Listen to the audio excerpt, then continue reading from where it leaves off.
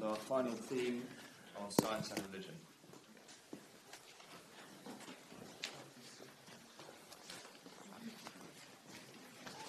Morning, everybody. Morning.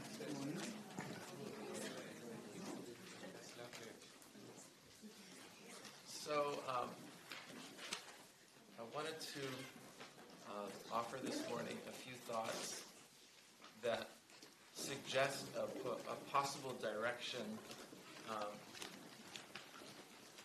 that we might take to try to um, to try to find a satisfactory resolution uh, to uh, the conflict between science and religion. It's a big, a big, big task. Um, and what I'll be proposing, I'll just say up front so you can fall asleep for the rest of the morning.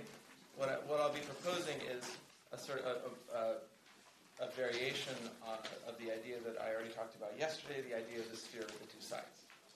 So that's basically where I'm going with this, but in, in, in, in different ways.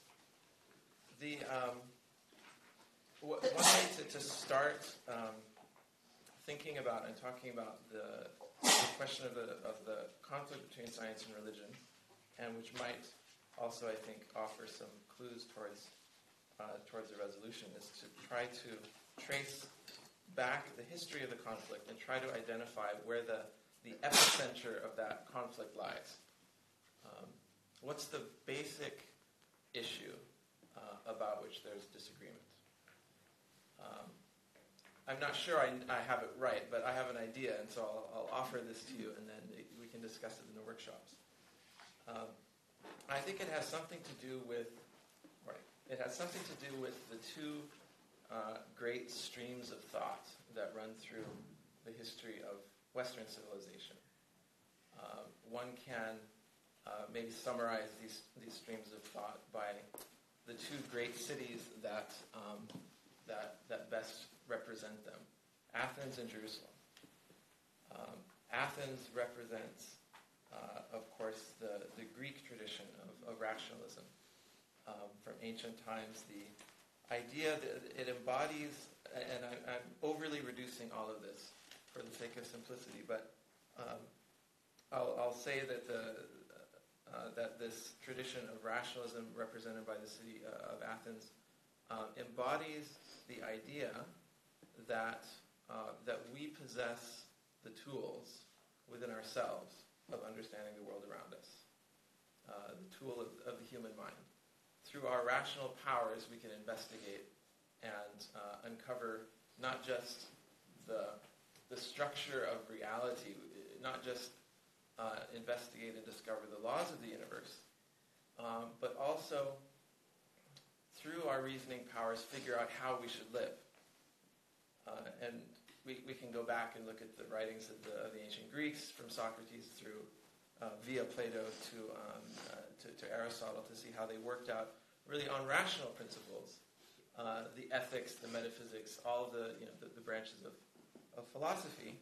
Um, and, and this stream of thought, which is, of course, the forebear of, of, the, of modern science, is is contrasted and, and in the eyes of, of, so many people opposed to the second great stream of, of, thought represented by the city of Jerusalem, which again in an overly reductionistic way um, might be said to represent that perspective, um, that, that alternative perspective that we do not contain within ourselves all of the tools we need uh, to understand the world and how we need to live in the world that we need to be told.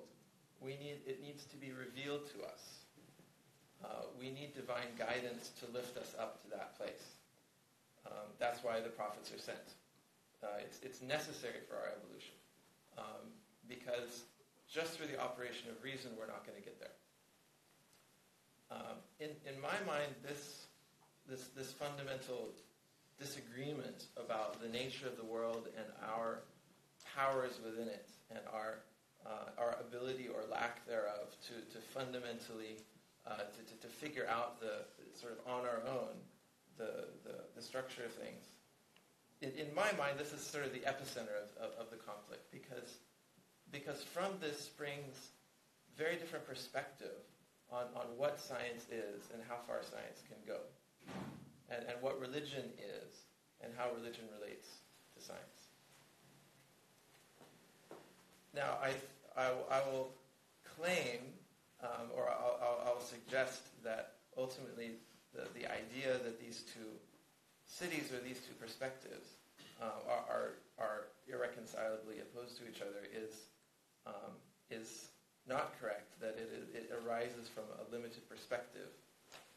That ultimately, uh, Athens and, and, Jerusalem, or, or reason and revelation, are in reality two sides of the same coin. Um, they're, they're, two aspects of the same process. Um, and it's, it's our lack of understanding uh, that splits them off into, into these two different domains. And, and one, um, one of the uh, one domain that it, that that that it splits off into two in, in I think ultimately a an artificial way is is are the domains of, of God and uh, and the world, uh, the domains of matter and spirit. I think the, the roots of a dualistic mindset uh, ultimately spring from this perspective uh, of the of this that, that there's effectively two essentially non-interacting spheres of, uh, of thought. Um, systems of knowledge, which, of course, at one level is quite, is quite accurate and is quite useful to talk about there being two systems of knowledge. Um, because, I mean, when it comes down to it, a prophet is a very different sort of a, of a person than, than, say, a scientist. They make different claims. Um, from where we're sitting, um, it's, you know, it, it's a perfectly reasonable distinction to make, to say that there's science and there's religion, and to talk, to talk about them and think about them as, um, as these two essentially separate spheres. But what, what I'm going to be exploring is, uh, is, I guess, a meta perspective that acknowledges that just as um, just as in you know, quantum mechanics, you can talk about particles and waves, and depending on how you look at them, you're either looking at particles or, or you're looking at waves. But at the same time, you understand that there's an overarching theory that unites the two. You understand that it's not just you know a, a particle theory and a wave theory, but there is there's a, there's a, a, a meta theory that, uh, that that unites it. So what is the nature of this meta theory. So I want to explore that and make some suggestions as to where we might go to um, in the direction of, of, a, of a meta theory, of, of, a theory that, that unites the two uh, in a natural way, uh, in a way that isn't just being lazy, that isn't just saying, oh, we want to have our cake and eat it too, and we're not really going to think it through. We're just sort of throwing these two concepts together and claiming that they're really uh, that they're really reconciled, and then and we're finished. Um, because that's not going to be convincing to ourselves or to the or or or to, or to anyone else. So, in the in, the, in this direction of, of uniting these these two uh, these two cities, these two streams of thought, um, I will I'll offer two um, different quotations from the Baha'i. Well, it's really two groups of quotations from the Baha'i writings. The first of these is um, Abdu'l Baha's statements about the nature of religion itself in some answered questions. Um, it's in the chapter, around chapter 40 or so, um, where Abdu'l Baha is talking about, um, he was asked a question about the powers uh, of the manifestations of God. Uh, and the question was something like, how do the manifestations of God know what they know? Uh, how, how, it is, how is it that they can you know, do what they? And Abdu'l Baha explains the nature of the manifestation in a way that I think implicitly revolutionizes our idea of what revelation is and what religion is. And he does it in just a few, a few sentences. He says the manifestations of God say what they say, and they know what they know. Not so much because it's been dictated to them, and they're just repeating words that they've heard and, and just passing it, uh, passing it through. Um, in, in that sort of way as, as, as a mouthpiece. But because they possess uh, an intuitive or, or an innate knowledge of the essential connections that proceed from the realities of things. They know how the universe works, how things are connected. And from that understanding, they deduce the laws of religion. And that's what they tell us. Because the laws of religion are not an arbitrary imposition of the, uh, of the will of an arbitrary creator, but they spring in an organic way from the very natures of things. Because Abdu'l Baha says that is what religion is. He says religion consists in, religion is those, uh, inter, those interconnections the realities of things. Uh, in Persian, Rabba bete zaruri ke as haqayek ashya monba eskar. Um, that's the, the Persian phrase, and the reason I'm mentioning the Persian phrase is because when we look at it two or three other places in Abdu'l Baha's writings, he uses precisely the same phrase but describing different realities. So, several years after some answer questions, in the, in the last year of his life, he was asked a question by the, the, the famous uh, Swiss uh, entomologist, August Forel. Asked Abdu'l Baha, and not a Baha'i, asked Abdu'l Baha questions about the, the nature of God, the existence and immortality of the soul, uh, the relationship of nature to God. And Abdu'l Baha's answers um, give us, I think, the other side of the sphere. If, if, if the statement about the, the, essential nature of religion, which is a very organic statement about what religion is, uh, if that's one half of it, then what he says in the tablet to, to Dr. Forel is the other half. Um, he says to Dr. Forel, in relation to nature, he says nature uh, consists in those interconnections which proceed from the realities of uh, and it's not an accident of the translation. I mean, you go to the original Persian, it's exactly the same Persian. So in one place, Abdu'l Baha says, this is what religion is. It's those essential connections proceeding from the realities of things. In another tablet, he says, this is what nature is. Essential connections proceeding from the realities of things. Um, put these two together, and you have a revolutionary insight. We, we, we have thought of nature and religion as occupying these two separate spheres we think of nature as, as a sort of a blind, uh, mindless force that proceeds with you know, mathematical precision along, along its course until uh, God intervenes and does something like sends a prophet, answers a prayer, performs a miracle. That's sort of our, the, the classical framework for thinking about the interaction of God with nature. It's, it's nature um, and God intervening upon it. Abdu'l Baha's redefinition of religion and his redefinition of nature, I think, opened the door to a fundamentally different way of thinking about the nature of the connection between science and religion. I should add, by the way, that in another tablet, Abdu'l Baha talks about love. Uh, this is famous Lohe um. It's in, uh, it's, we don't know that it's called that, but it's one of Abdu'l Baha's best known works. It's translated in the opening pages or the first dozen or two pages of selections or lines of Abdu'l Baha. We're familiar with this tablet that begins, Love is the secret of God's holy dispensation. He goes on and describes all the different things love is, and at one point he says, uh, he says something which doesn't, it might not ring that bell, but he says that uh, love is those consistent, those essential connections that proceed from the realities of things. Um, and you, again, you go back to the Persian, and it's the same phrase that appears in there. Um, later on in that same volume, such as the Writings of Abdu'l Baha, Abdu'l Baha is answering a question, a question about fate and predestination. And, uh, and he explains in one short paragraph what fate and predestination are. And he says, these consist in those essential realities that proceed, uh, the essential connections that proceed from the realities of things. Again, you go back to the Persian, it's exactly the same wording. So could you repeat the Persian wording? Uh, ke az haqa'iq ashya munba the um, so love, faith, nature, uh, and religion are all given identical definitions by Abdu'l Baha in four different places. And in the fifth um, use slightly different language. Um, he says that the true laws of society, he says, proceed from those essential relationships as well. This is, I, I believe it's in CLCA, in, the, in, his, in his treatise on, on politics. So four or five uh, elements, uh, fundamental ideas that we've we've thought we might not have guessed that there was any real connection between them. uh, and Abdu'l-Baha gives them identical definitions. So that's one set of, uh, of quotations, and and I and I, I'm convinced that there's something really profound in there. There's there's the seeds of a, of a revolutionary new philosophy, of a revolutionary new perspective about things uh, that that uh, that can be based partly on these on these quotations. There's another quotation.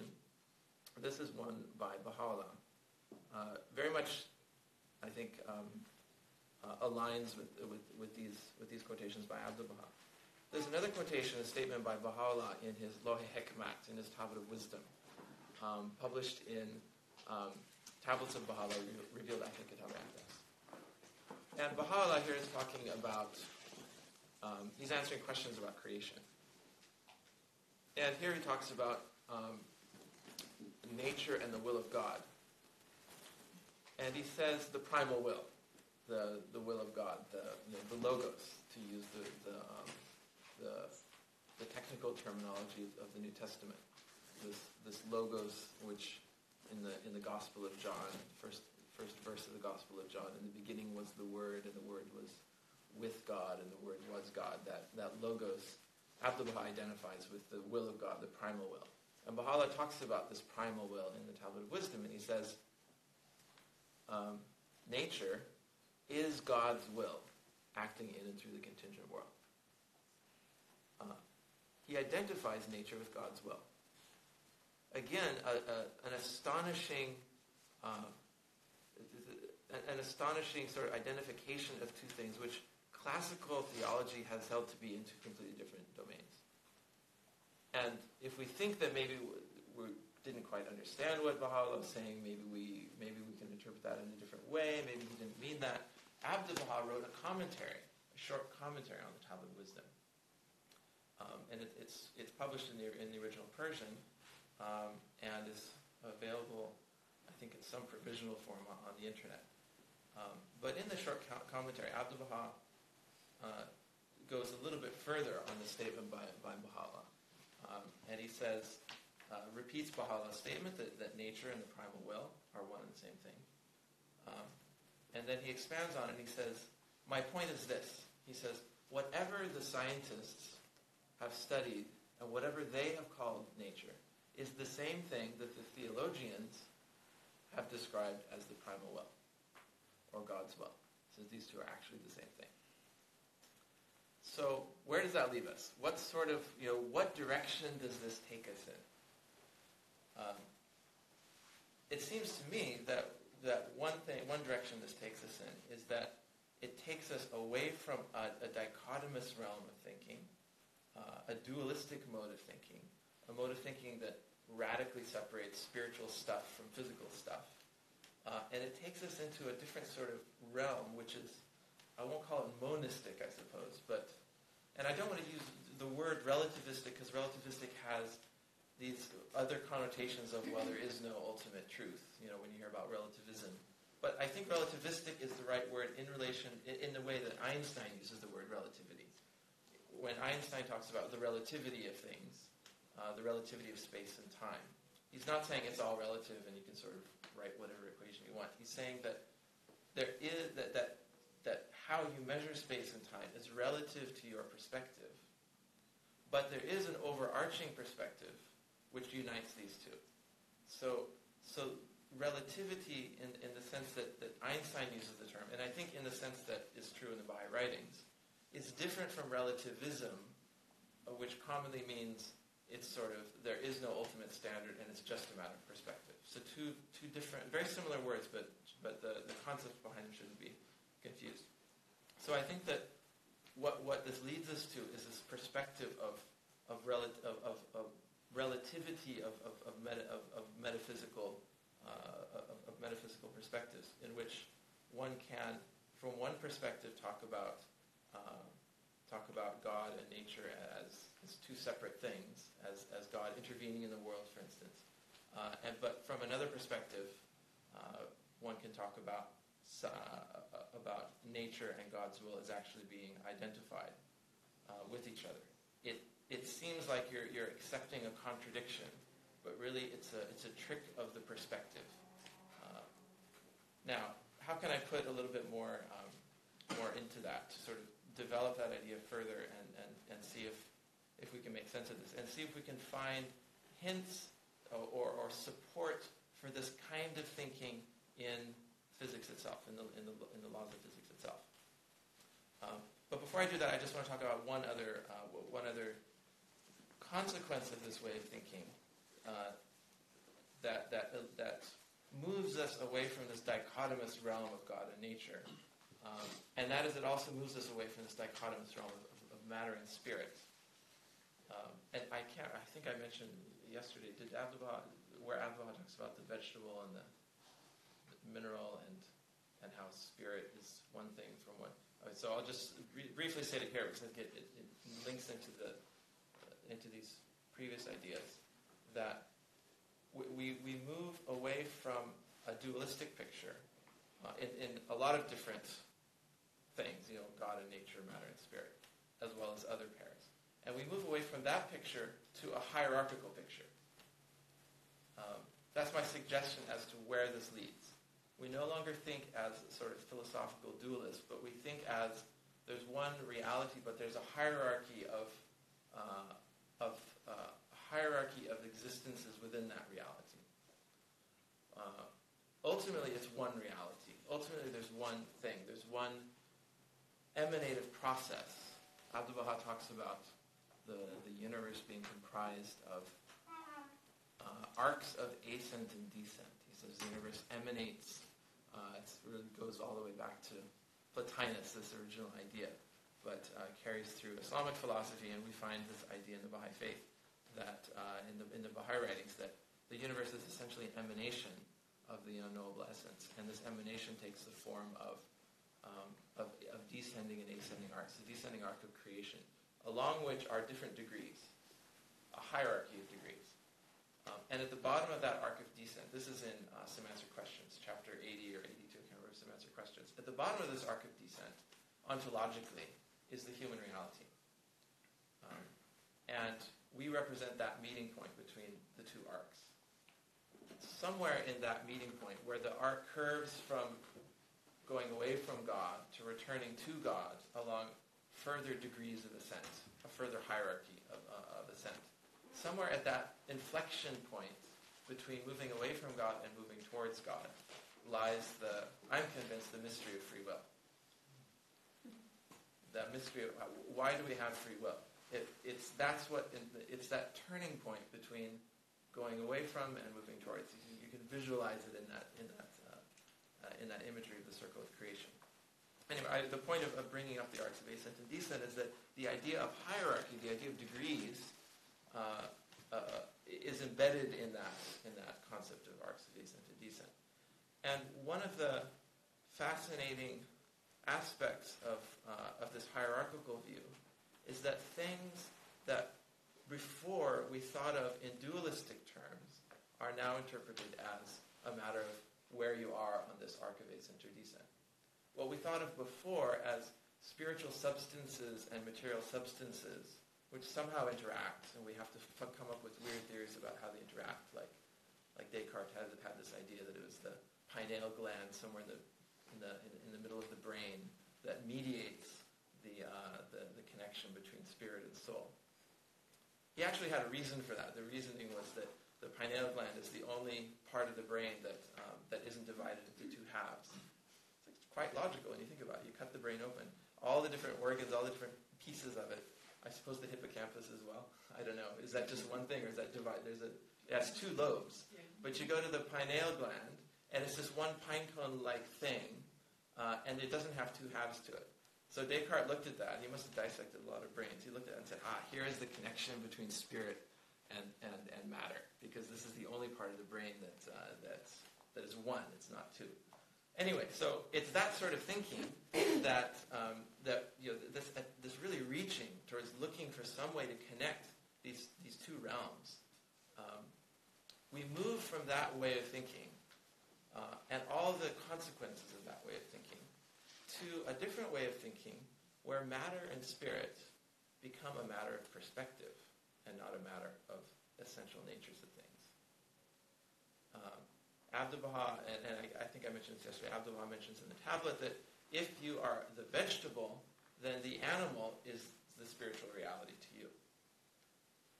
Uh, so just in, in, in, a few words, it establishes this idea and, and, and, and really um, re- revolutionizes our thinking about what is matter and what is spirit.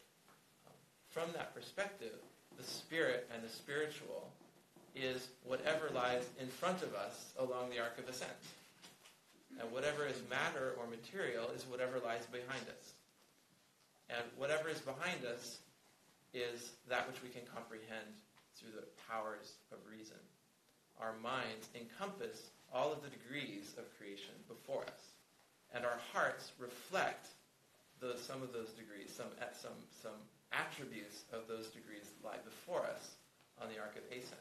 Because our realities are not sufficient to encompass those spiritual realms. Our hearts, our minds can't wrap themselves around. Abdu'l-Baha says, what, it, what is it that, you know, how does the mind understand things? It wraps itself around things. It, it, it surrounds and encompasses things. That's how it understands things.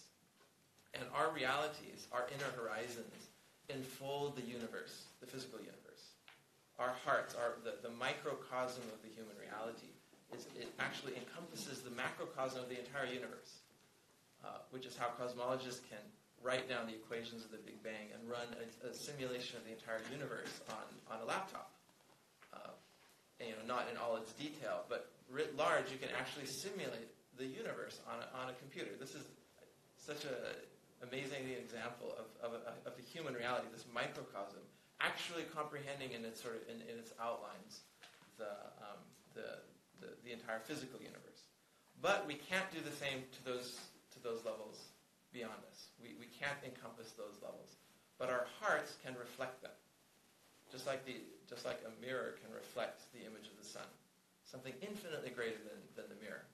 Uh, but nevertheless, some of the, of the, not all of the attributes, but some of the attributes of that sun can be reflected in the mirror uh, of the heart.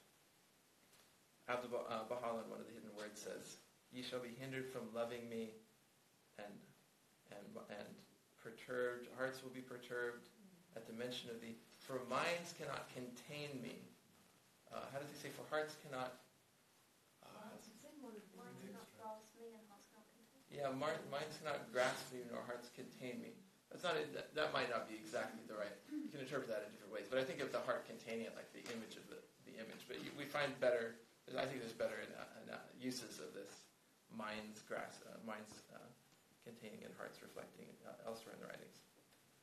Um, Okay, so that I just wanted to, to, to throw that out as, a, as, as one possible uh, consequence of this, of this try, trying to unite these, these two streams of Athens, Jerusalem. What, what, what can come out of this? And I think one thing that can come out of this is something beyond dualism and monism. Something else. I think it has yet to be articulated uh, in, a, in, a, philosophically rigorous manner. I think it has yet to be explored and, and really, uh, and really fleshed out but um, perhaps there, here's a direction that, that, we could, that we could go. Now, can we find evidence for this in the physical world? Um, I think there is evidence for it. Um, evidence in, in, the, in, the, in, an, in the sense of analogy, not in the sense of proof. We're not proving anything. But Abdu'l-Baha says that the, um, that the physical world and the spiritual world uh, you know, we know that they're not really separate worlds, but you know, the, from this perspective, that the, matters of the spirit and, and matters of, uh, of, of, matter, of the body, uh, are they reflect each other. Uh, realities in the spiritual realm have reflections in the physical world and vice versa. From this principle, we can uh, perhaps deduce or, or expect that if there are fundamentally significant processes going on in the spiritual world, then they ought to have physical correlates because of this principle of, of correspondence between physical and spiritual. Example, uh, part one of the Kitab-i-Iqan, uh, Baha'u'llah talks about um, the, uh, the change. He's interpreting the, the Quranic verse about the changing of the earth. And he says this changing of the earth refers to the earth of the hearts. He says the earth of the hearts are changed in an, in an instant through the action of the divine elixir, uh, which he says transmutes, you know, the, the souls of men. And he, and he takes that as a, as a point of, of departure, mentioning the substance of copper and gold. And um, here's one example of uh, a, a spiritual, a process of spiritual transformation, which Baha'u'llah claims is reflected in the physical world. We have yet to really understand what Baha'u'llah was referring to. Um, but uh, th- that's one, one example of, uh, of a correspondence. So if, um, if, this, if this perspective of, um, uh, of, of two things like matter and spirit being not quite dualistic but more a, a, a matter of, of, of, perspective is, is, is something that we, that we think is true uh, of, of the, the spiritual significances in the, in, the, in the Baha'i writing. Can we find examples of this just in, in, the, in the physical world? And I'll talk about two or three, suggest two or three. One of and uh, and these are all ways of getting at the idea that two things which can appear very different, if not contradictory, can ultimately be reconciled perfectly naturally uh, within uh, within a, a, physical framework. The overarching idea in physics that that um, demonstrates this principle so powerfully, and really I think it's it's probably the single most powerful tool in the arsenal of of, of modern physics is, uh, is symmetry, the principle of symmetry. Um, the principle of symmetry has many applications, from very concrete to very abstract. The abstract ones are the most powerful ones that get us to the most unexpected places. Uh, and it's good in understanding, try, trying to get a, a hold on what symmetry is by starting with the most concrete examples. Perhaps the most concrete example is um, are geometric figures. So you have something like, um, like a circle. You can take a circle, and you can rotate that circle any way you want, and you get exactly the same circle. You can flip that circle around, and you get exactly the same circle. You, the circle has high d- degree of symmetry because there are lots of ways, there's lots of operations you can perform on that circle, rotations and, and reflections. Um, and you get exactly the same thing. What about a square? Uh, the symmetry of the square is somewhat lower than that of the circle. You can take a square, and there's a few ways you can rotate it. 90 degrees this way, 180 degrees, 270 degrees, 360 degrees, or any you know, multiple of that. You can reflect the square, and you get exactly the same square. It also has a certain kind of symmetry. It's a different sort of symmetry than the circle. You can't continuously rotate it and end up with the same thing. So I think we all have an intuition of that. You know, a butterfly has a symmetry of another kind than the square. You can take the butterfly and just flip it. You can reflect it, um, and you get the same butterfly. Um, but um, well, actually, the front reflects onto the back. But if you if uh, you're not physically rotating, but if you sort of reflect one half onto the other, you get the same butterfly. So we all understand intuitively that. But you can't rotate it because then the butterfly's upside down. So it has symmetry, a lower kind of symmetry, but still it has a, a very definable aspect of symmetry. So this idea, which seems so simple and intuitive to us, has amazing applications throughout the realm of physics. And through the application of these principles of symmetry, things which appear to be completely different end up being actually the same. The difference becomes a trick of perspective. And the symmetry principle shows us that the differences were just a trick of perspective. So let me give a few examples. Um, let's take one of the earliest uh, insights of the, of the astronomers. Uh, looking out in the night sky, you see all these points of light. No one knows what they are. No one knows how far away they are. You know, there's a common idea that there was some crystalline sphere out at some distance, and the stars were fixed points uh, or maybe holes punched into this sphere, and behind it were shining the lights of heaven or something like that. But no one really knew what the stars were. Um, and of course, they had nothing to do with the sun. But at some point, someone had the, the insight, this amazing insight, that actually, if you took the, one of those points of light and brought it into the, to, the, to the distance of the sun, and if you took the sun and pushed it out to that distance of the, of the crystalline spheres, you would get exactly the same thing. there's a symmetry operation. I'm, I'm putting it in these terms to illustrate the power of symmetry. I mean, you can think about it in other terms. But there's a symmetry operation between the sun and the stars that translates from one to the other, assuming all the stars are the same. We know they're not all the same, but put that aside. But there's a translation symmetry. Push one of them out, pull the other one in, and you end up with the same configuration. So there's there's one example of how you can use a simple idea of just moving th- something from one place to another, and you end up unifying two things which you didn't understand before were actually the same. You made no connection between the sun and the stars until you understood at some intuitive level that you could swap the two and you'd end up with the same thing. Let's look at an, uh, another example. Um, uh, Isaac Newton, the story of Isaac Newton, sitting under the apple tree um, and an apple falls on his head. And he thinks, ah, the universal theory of gravitation. So we all know, we've probably all heard the story. But there's a really, there's a profound thing that's going on here. What happened? What was the nature of the insight that led Isaac Newton to understand the universal theory of gravitation from this event of the apple falling on his head? It was a sort of a symmetry operation.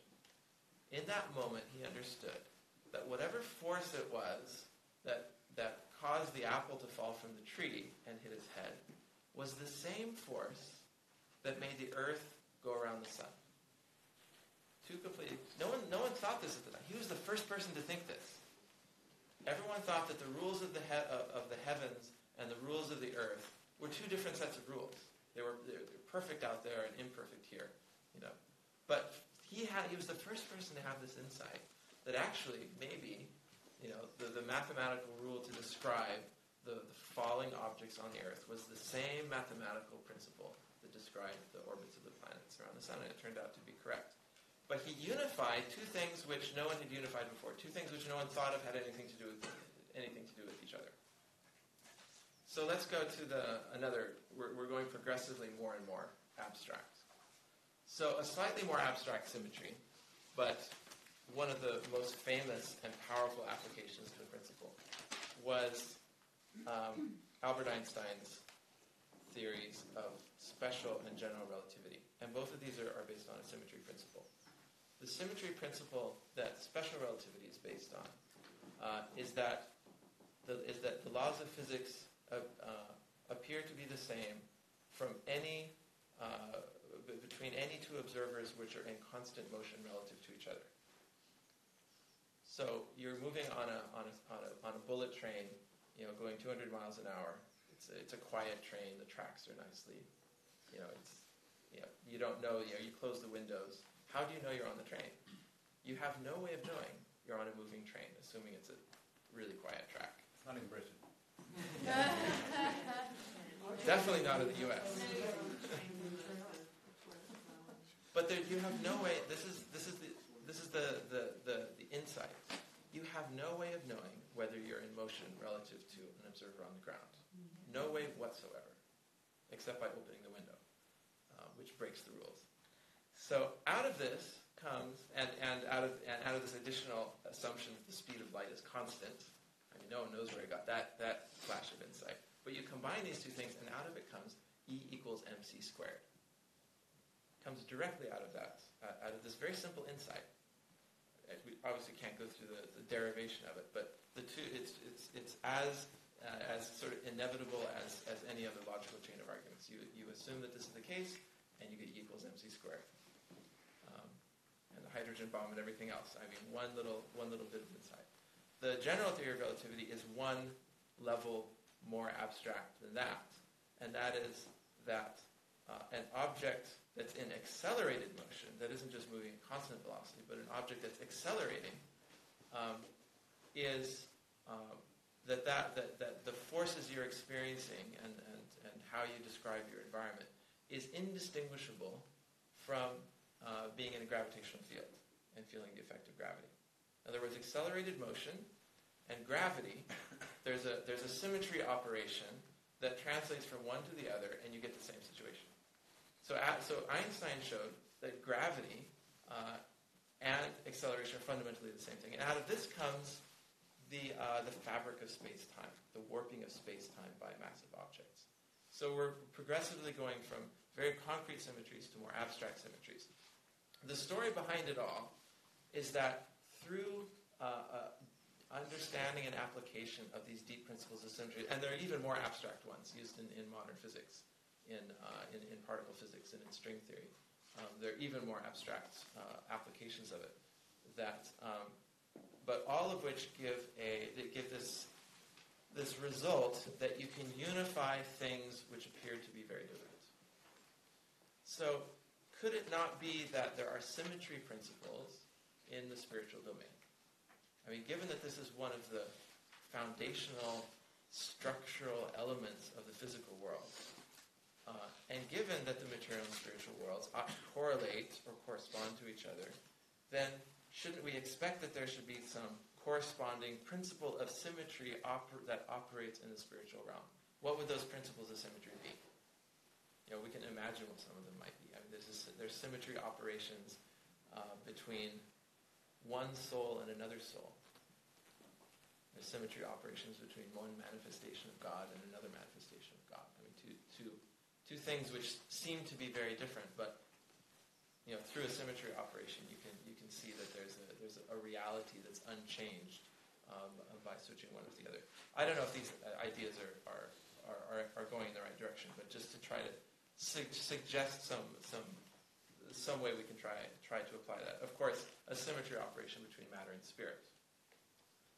Um, that you just move up or down the, the arc of the, uh, the arc of descent, and what was matter becomes spirit, and what was spirit becomes matter.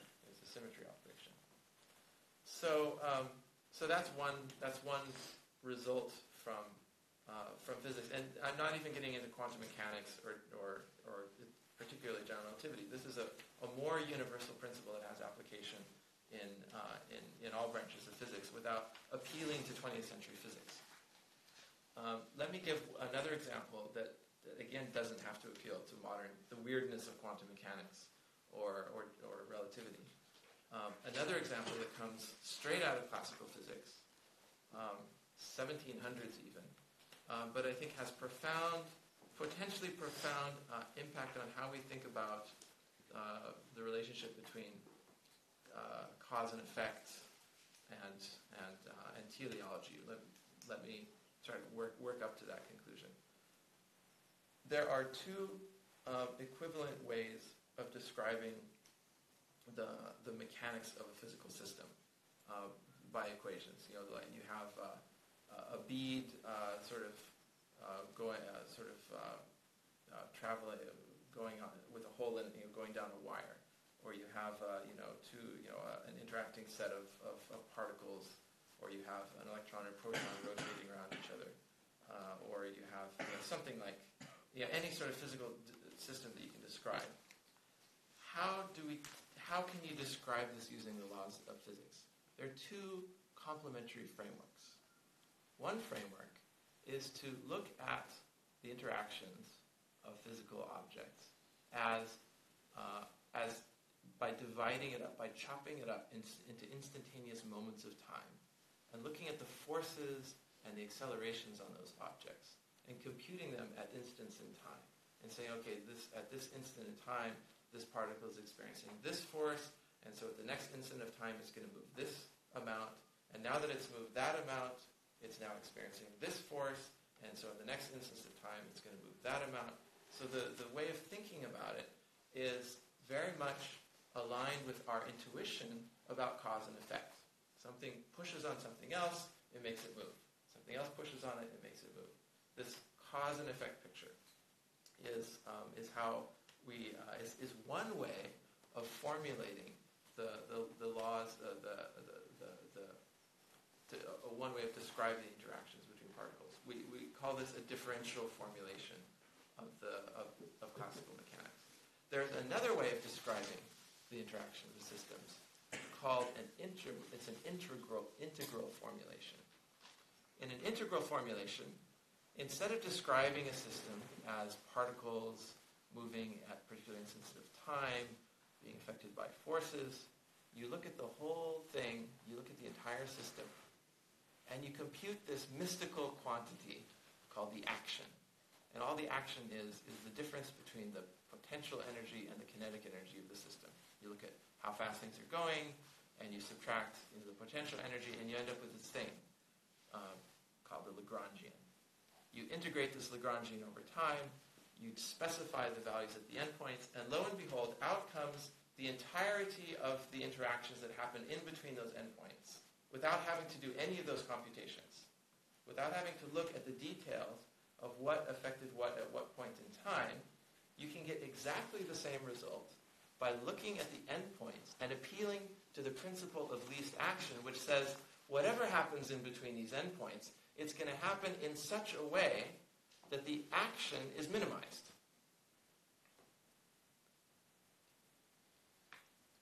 Why is this, why is this important? Why am I going into this? Because here you have two mathematically equivalent ways of describing a system. One of them in terms of forces and accelerations, moment to moment. Another one in terms of the whole system acting in such a way that a certain quantity gets minimized.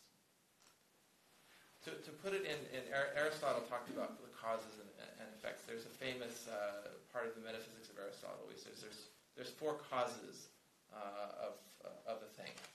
There's the, the formal cause, the, um, the efficient cause, the material cause, and the final cause. Uh, the, how many people have heard about the four causes of Aristotle? Uh, we all have the intuition of it. The intuition is that you have a chair. What caused that chair? Well, by we're using cause in a, in, a, in a very peculiar way, but what sort of goes into the, this chair? Well, it's made out of wood. So you have to have wood. So there's a material cause. There's a material the substrate for the chair. You have to have a uh, you have to have a maker of the chair. So that's the efficient cause, the carpenter, the one who makes the, the chair. You have to have the form of a chair. You have to have a blueprint in mind. You know that it has four legs, uh, and it has a seat, and it has a back. And finally, you have to have an idea of what the purpose of the chair is. What's it made for? What's it going to do once you make that chair? So these four causes, these four ways of thinking about uh, about what goes into an object and how an object comes into existence uh, are are usually thought of as, as four just four separate interrelated things. What this principle of least action, which is which is purely from the realm of classical physics, tells us, what this principle of least action tells us, is that the efficient cause and the final cause are actually the same talking about a system in terms of uh, a cause, uh, in terms of causality, in terms of the blind operation of physical laws, becomes mathematically equivalent to talking about a system in terms of it's moving towards a certain purpose. There's a certain goal. I'm not trying to introduce consciousness into this. I'm not trying to slip a sort of uh, a creator God into the back door and saying, well, God is the is the prince, the final cause, or something like that. I think it's more subtle than that. I think what it does is it, it demonstrates for us, uh, it indicates for us that our intuition about causality, about blind cause and effect, this intuition is incomplete. And that it is perfectly consistent with another formulation of physical systems, which sees the which sees the uh, the universe as following some sort of global principle as moving towards some uh, some global uh, some global end. Uh, this principle of least action. So, how can we apply this? Let's look at evolution. Um, evolution um, and how evolution has, has been interpreted in the uh, in the by the scientific atheists is that it is an entirely blind process of cause and effect. Uh, that it's just natural selection, differential reproduction, um, eat or be eaten. Uh, there's no overarching goal. It's not moving in any particular direction. It's, uh, it's it, the, the entirety of the explanation of evolution can be encompassed within these very moment-to-moment principles that well the thing this this organism survived and so it produced its its its young and they had slight genetic variations and then that one survived better because its genetic, genetic uh, variations you know, gave it preferential survival uh, uh, and so and so its children went on. But see, it's a very sort of, you're focused in at, at the micro level. And the macro of evolution disappears from view. There is no macro.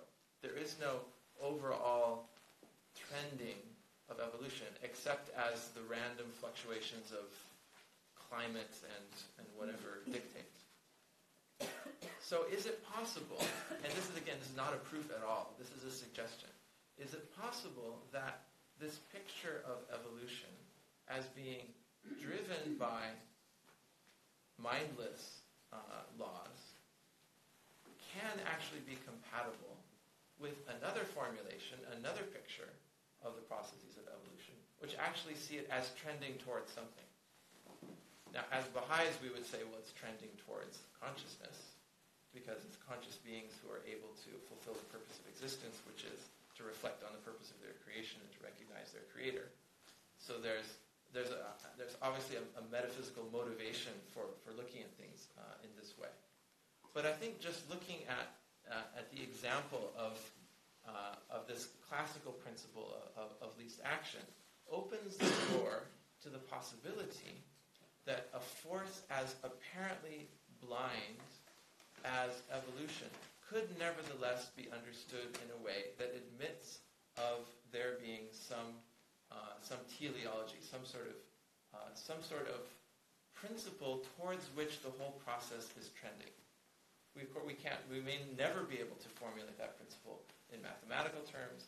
It may forever remain a sort of a metaphysical claim, but this metaphysical claim, which is one way of accommodating the claims of modern evolutionary biology, accommodating those claims in a perfectly com- in a perfectly sort of comfortable world, along with the seemingly opposing but but in reality uh, equivalent claim that there is overall purpose, there is overall motion, motion towards a certain end. It's possible to accommodate these two perspectives uh, in, in one in one overarching framework. Should, should I stop there or go, go to one more example? Is this, is this too is this too much of too too detailed or um, I'll go I'll, go, I'll go to one more and then and then we'll stop. Well, let me just say a few more words about evolution because this is something that that um, a lot of us have grappled with. Um, how do we reconcile uh, statements in the Baha'i writings that, on the face of it, appear to deny the uh, the, the truth of, of evolution? The, statements by Abdu'l-Baha that say that that seem to say that uh, that it's all wrong, that uh, man uh, was always man, his species was always the human species, that we did not descend from the animal. How do we reconcile uh, statements of that nature with the the facts of evolution that have been demonstrated over uh, uh, over the over the last century? Um, really establishing beyond reasonable doubt the genetic um, relatedness of all life, including human life, with, with nearby, with, with near ancestors, and, and, all other life, and eventually. How do we, um, can we find a framework where we can understand these statements of Abdu'l-Baha establishing the specialness of the human species, um, and at the same time not have to say, well, we, we, we're leaving it open with evolution. We're not quite sure if we, if we sign on to evolution entirely. I think it's possible to sign on to both of them with complete confidence. Um, and I think the way, oh, the way, the way I've done it in my own mind, and again, this could be a conversation for, for workshops, is, um, is through a very simple analogy. Um, uh, and it's, it's an analogy that allows us to unite these two things, which seem to be very, which seems to be, seem to be very different. It's just the analogy of the tree. Um, it's, it, the Baha'i writings talk about the, the human reality being a tree. Well, actually being the fruit on the tree of existence. The station of mankind is the station of the fruit on the tree of existence. So let's start from that analogy. Unobjectionable, it's, you know, Abdu'l-Baha says it in a few different places. But that analogy, I think, is the key to understanding the whole thing. Because it's a very organic analogy. The fruit appears in a very gradual and natural way from the from a seed. And the fruit, the evolution of the fruit is, I'm saying using the word evolution improperly, but the, the sort of growth and development of the fruit uh, is perfectly organically related to the growth and development of the other aspects. They all came from the same seed. They all share the same DNA. The, they share common ancestry. You know, the fruit and the leaf, at some point, sort of branched off from the same cell. It divided, and one cell went off and became the fruit, and one cell, cell went off and became the leaf. It's all connected. It's all evolutionary. It's all organic. But the fruit is a very special part of the tree. Even though it appeared gradually, even though it appeared organically, the fruit contains stuff that no other part of the tree has. Uh, the fruit contains the seed, which is the, the secret of the immortality of the tree. The fruit obviously contains the meat of the fruit, which is you know nourishing and and and, and the fruit is in in a sense the the goal, the purpose of the existence of the tree is the creation of that fruit. So you can probably guess where all this is going. This this analogy, uh, but and, and to say to, to the one last point that, that makes it all sort of click together. The one last point is that the leaf does not become the fruit. The root does not become the fruit. The fruit was the fruit from the beginning, so to speak. The fruit was there in the in the blueprint of the tree from the very beginning. It's it's a unique part of the tree. You know, you could call it a species. Let's call it the species. Let's let's let's say that these different parts of the tree are the different species. You know, you have the, the leaves, and you have the bark, and you have the fruit, and you have the root tips, and you have you know whatever you want to call it. It's like these are these were from the beginning differentiated in the plan of the tree. But having been differentiated in the plan of the tree doesn't mean that you, that that there's no connection between them. So let's take this example of the tree and just very quickly, because I think you can sort of do it, you can sort of connect the dots yourself. So let's look at, at evolution then. Uh, it's exactly the same with evolution. And we can understand Abdu'l-Baha's statements about evolution sort of one to one using, using this analogy the tree. Abdu'l-Baha says, man was always man, a man, not an animal. Okay, the fruit was always the fruit. You know, the fruit was never the leaf. I mean, it's obvious, right? Man was the, the purpose of creation from the very beginning. So was the fruit. You know, it was the purpose of the, of the coming to existence of the tree from the very beginning. Um, but at the same time, man shares common ancestry with the animals. Man appeared on this planet gradually. Man's form changed over time.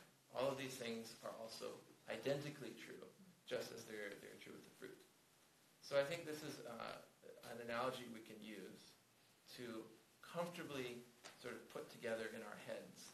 Uh, and maybe adding to that this more, uh, this more abstract idea about the unity of teleology and, and cause and effect. We can comfortably put the idea of an apparently blind process, an apparently purely mechanistic process can, can, um, can be uh, reconciled with a teleological picture of, of there being ultimate goals, of there being a direction of things, and of, of mankind being as special as Abdu'l-Baha says.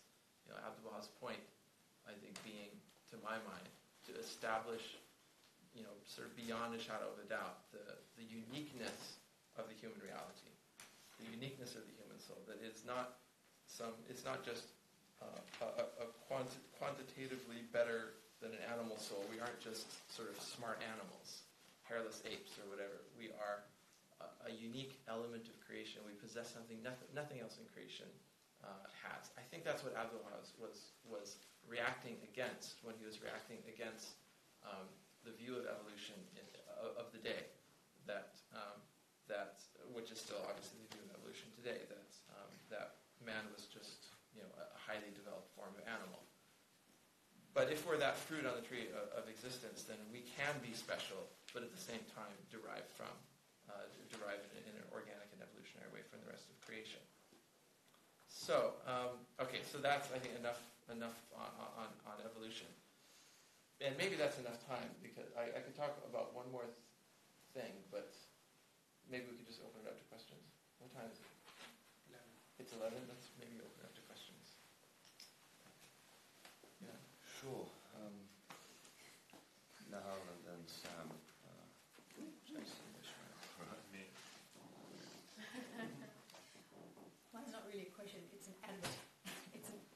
advertisement. Uh-huh. Oh, Is that all right? okay.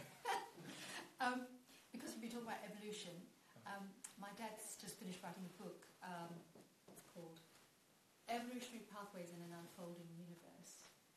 And, and basically, you know, because I think we were talking yesterday about you know, the approaches towards teaching um, um, atheists. So one approach is obviously um, looking by community. One approach is um, you, you were explaining, but um, I think one a di- another approach could be that we do address and try to bring people slightly closer to the Baha'i understanding, but without necessarily imposing the Baha'i point of view. So I think this is one of the um, reasons that you know my dad put this book together, is so that we can show exactly what you're saying, Mhm. that um, and for people to make their own conclusion about whether there is a, uh, you know an ongoing evolutionary process, but actually to make that. Um, so basically, he, he goes through sort of physical, bi- uh, biological, um, social, uh, philosophical, um, uh, religious evolution, and just um, you know helps people to actually see that this process of evolution is part of Hmm. part of the framework. So. Um, His background is in science. Yes, yes, yes. He's, a, he's actually an engineer, but he's very interested in um, cosmology. so- um, uh, Maybe leave the cards on yes, I can put it on there. It, it- it's uh, he's put it on the web, and it, you know, it's really just you know for us to share with uh, our non-Baha'i friends, just to you know, help them see the, see the Baha'i friends. But there's no mention of God and no um, sort of. I mean, there is mention of the Baha'i faith in terms of um, evolution of religion and stuff like that. It's not. Its purpose is not to teach the Baha'i faith, but just to bring people maybe closer to understanding. So yeah. Thank you very much Thank indeed. Thank you. Uh, S- Sam. Uh, Thank you very much, Steven. Um, I was wondering, um, I think with this question of science and religion, it seems one of, one of the fundamental questions um, I, kn- I know you've spoken of before is, is that one of, does God do anything? I was wondering if you'd um, say a few words about that, uh, that question. Oh, well, he does everything. See, that's the thing, is that um, what, wh- one of these dichotomies, false dichotomies, is the dichotomy of the of th- this God of the gaps versus this, you know, transcendent God who's not doing anything. You know, that the God is is explaining all the things that we can't explain. God is that force which interposes in the universe to, to do all the stuff that physic that, that, that nature can't do or that we can't explain how nature does it. And this God of the gaps has been shrinking more and more as our understanding of the physical universe expands more and more until there are precious few gaps left for such a God to act in. And uh, at the moment, the God of the gaps is one of the places the God of the gaps is hiding is uh, is inside the is inside quantum mechanics. And um, people try to use the, the, the randomness of quantum mechanical processes as a sort of black box into which to into which they sort of leverage this God of the gaps and say, well, it looks random, but really, you know, that's that's where God is acting, and He can there, you know, using that, you know, sort of apparently random processes being really guided in a very micro level uh, by a very active and very busy God, apparently. Um, just about anything can get done. You know, you can walk on water, you can do whatever you want uh, if you if you can if you can sort of mess with things at the quantum mechanical level. Um, anyway, assuming that that's not a fruitful direction to go with one's theology, um, uh, the, the the opposite of, uh, of that is is you know, the uh, alternative view is, is is sometimes to say that well there is no direct connection at all, but God is absolutely transcendent, absolutely unconnected, absolutely uninvolved. You know, this could be a form of deism. This could be just a radical uh, notion of the transcendence of God. Is this the Baha'i view of God? An open question for the for the for the workshop. But another possibility um, is not the God of God of the gaps, but I, I don't have an elegant way of putting it. But let's say the God of the filled spaces. In other words, God is not to be found in those spaces that elude our understanding, but God's action is rather to be found precisely in those areas that we understand. Because just as Baha'u'llah says, God's will and the you know, the nature and God's will are the same thing. So if we take Baha'u'llah's statement at face value, then our, our Seems to be my temporary. God is calling. because um, if we take that at face, it, it was that rock band from last night. Who was it? The chaplains. The chaplains. Uh, Great yeah. The um, uh, what was the train of? Okay, the, the God of the gaps and the God, God of filled spaces. So maybe the, the, our idea of, of God is more that we're looking. If we're looking for the God of the gaps, we're looking in precisely the wrong places. You know, we ought to be looking in the, the beauty and symmetry of the laws of physics.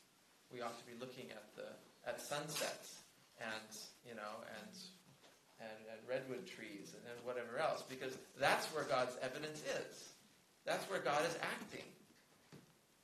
Because that's where nature is acting, and the two are the same thing. Thank you. I think Jason's next. Well, and it was very interesting. Thank you for that. It was, uh, full of great uh, ideas, which I was kind of tight mulling over.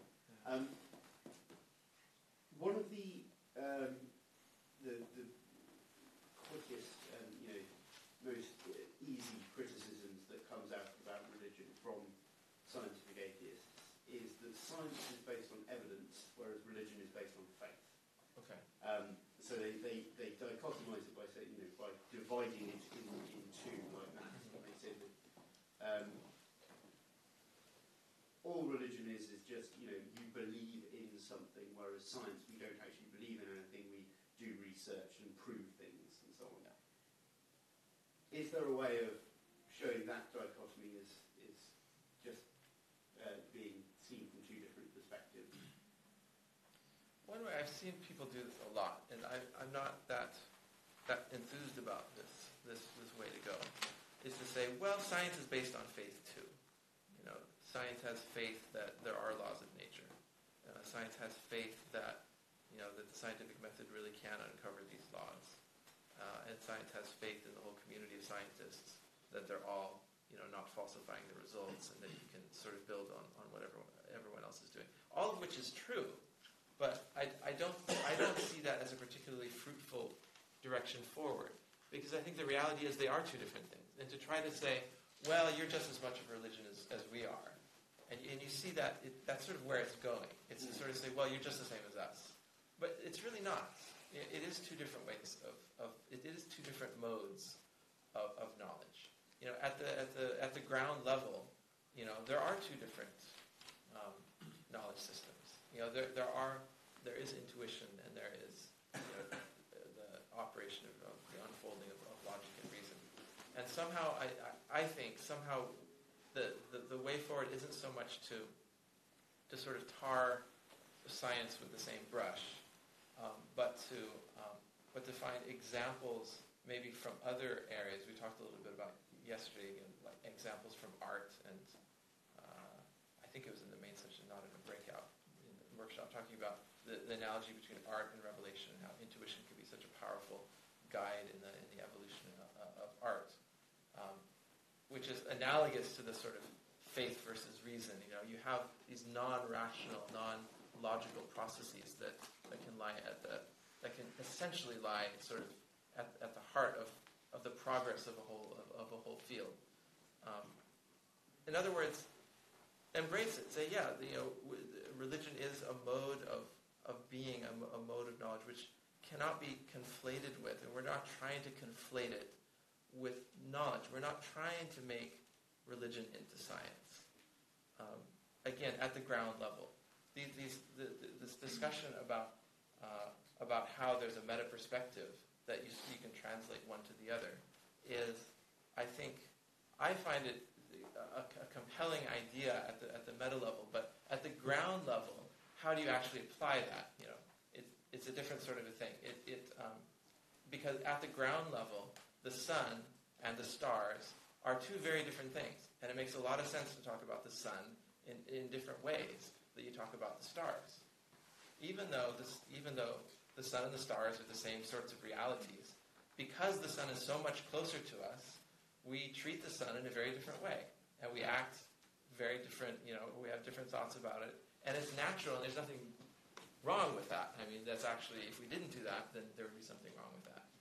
So I think similarly with, with you know, with faith and reason, um, if we can describe a sort of a meta perspective that shows that there is some essential harmony, shows that there's some transcendental unity of faith and reason, then that gives us a, a perspective of, of, where we can proceed with confidence that that by um, that by uh, allowing our lives in some way to be governed by faith or intuition or by you know, religious sensibilities, we're not with that meta perspective. We're, we're, we're not uh, we don't feel somehow in our hearts that we're abandoning faith or that we're somehow uh, that that that we're trying to en- en- encompass some sort of um, some sort of con- contradiction within ourselves.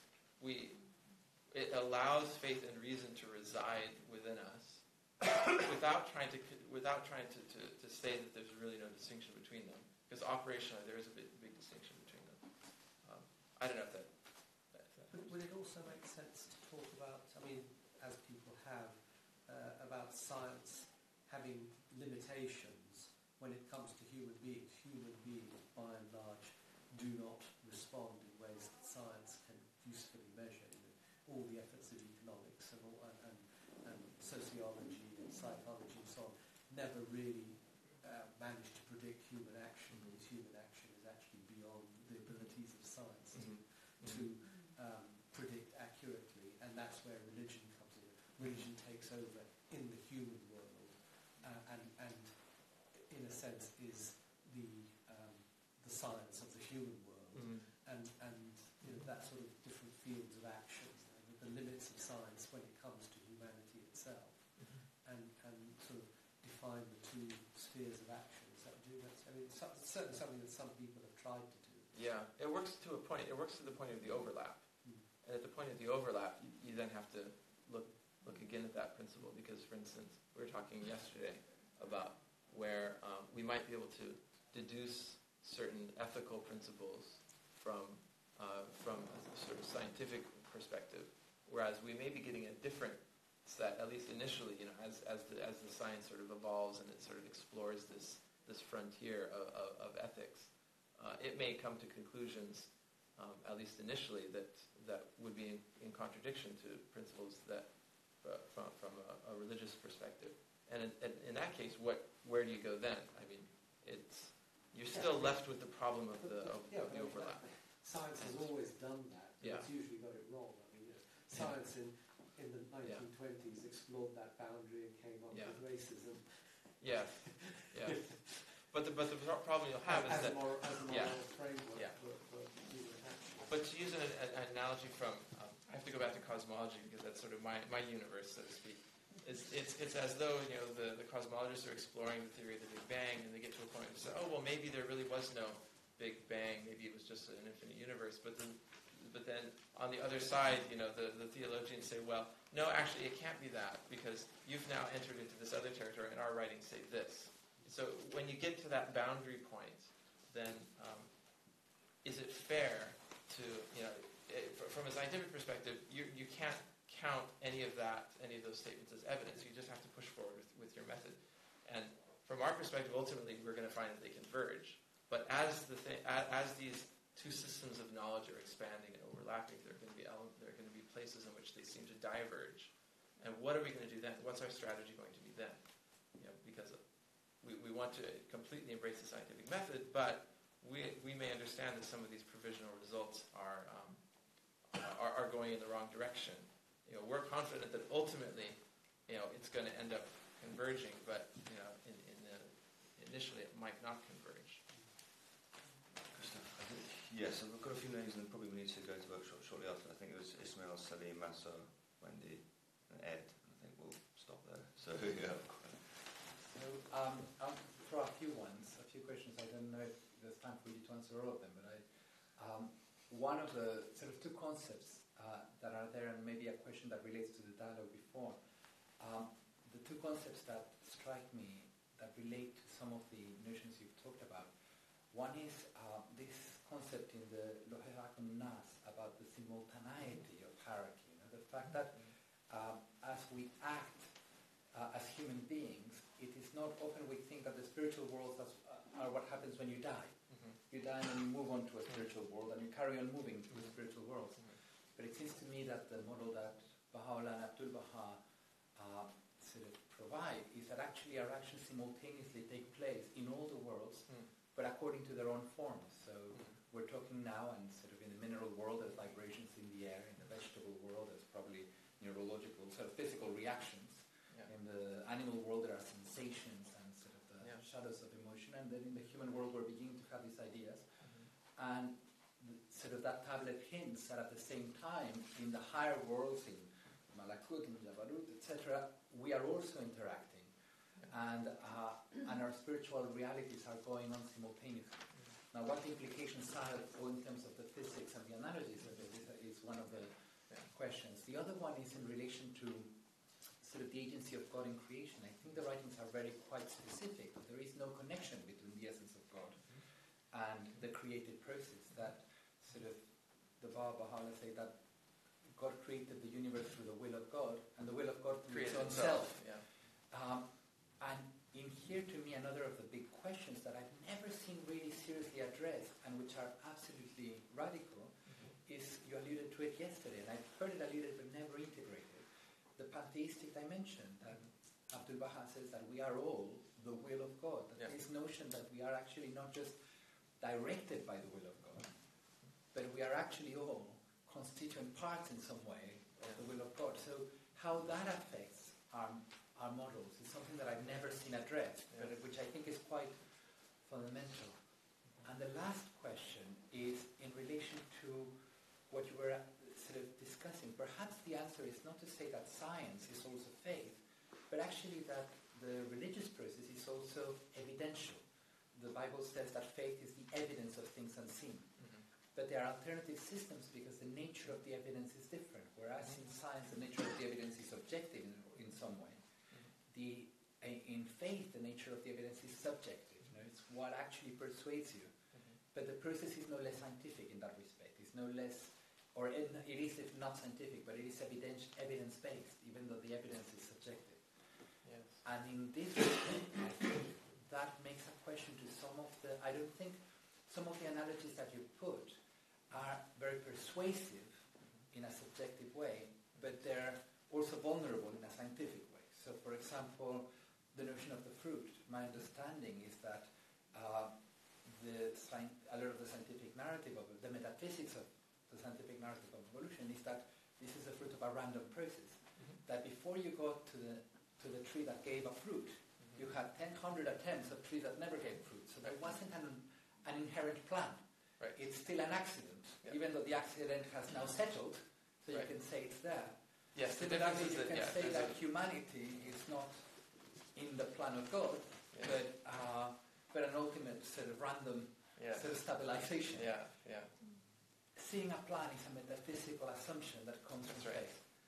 And likewise with the principle of least action, I think there's a whole current of people who suggest that the teleology is a is a false assumption that you're actually drawing an inference from sort of you're not in, introducing velocity, for example, so you're it's a backward inference. Uh, I don't know enough about it to know what the merits of it, but I know I've Yeah. heard sort of scientists question the teleological argument. And it's just, I suppose, a general idea that actually, uh, and it addresses, I think, Monjan's point, that actually the metaphysical interpretation of the science ultimately exceeds the scientific evidence. It's ultimately uh, a position that, that is metaphysical, that is not physical, whether it's teleological or not teleological, whether it's a purpose or not, whether all these kinds of questions, the analogies that you're drawing, to me ultimately do rely on this subjective evidence, internal conviction that allows you to, to bring in that broader framework. And I sort of those are the kinds of questions I Yeah, I, I, I can only touch on a couple of points, but I'm glad you made this point about uh, about evolution and the blueprint, because that's an essential. That's the that begs the question. This analogy of the tree and the fruit works so nicely, but it begs the question.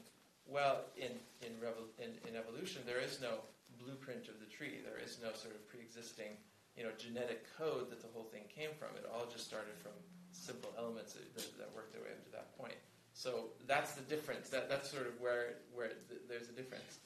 And I tried to, to deal with that sort of in the idea proceeding, which is that we can um, we can find perspectives where uh, where this uh, this seemingly random process can be uh, through a symmetry operation equated with a, with a process that has some sort of that, that has a, an overall telos to it. Now you've mentioned that some that some scientists have, uh, and, and I've seen that as well. I've looked into this and seen what people have said about teleology, uh, teleology and those who have um, mentioned teleology in reference to the action principle and said, well, this isn't what it means.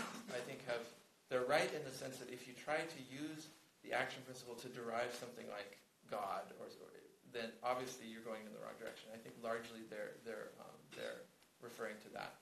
But they're also referring to the idea that there's different formulations of the action principle depending on how you set the endpoints. Mm-hmm. And so if you set the endpoint at the beginning, then it looks like a teleological process because it looks like everything is moving to, to the to the um, to, to, to, some to some end based on this overarching principle. But through a transformation of coordinates, you can move your your boundary conditions from one endpoint to the other. And now it seems like things are going back in time. So they say, well, it's not truly the, uh, teleology because you can reinterpret it by another transformation of coordinates so that it's, it, it, it equally goes back in time as well as it does forward in time. And beyond that, you can actually mix the boundary conditions so that you have some so part of the boundary at the, at the first uh, time step and part of the boundary at the last time step. And I think all of these, all of these points uh, are true. And what it's, what it's refuting is a very simplistic notion of theology, uh, of, of, teleology, which is purely a sort of a time-forward idea of teleology. But what it doesn't, uh, what it doesn't refute is the overall insight that this gives us that a, uh, that a moment-to-moment causal picture can be in some way uh, consistent with another picture where the system as a whole operates according to some more global uh, trending, uh, some more global you know, uh, trending thing. Not necessarily trending forward in time or backward in time. It could be a mixture of these. But I think the time, the, the direction of time is ultimately secondary to the to to the um, it, it, to the to this argument about about teleology. That it doesn't uh, it doesn't negate the, the, the point. It negates a simplistic uh, a simplistic interpretation. Um, yes, very quick question. Uh, so first of all, thank you.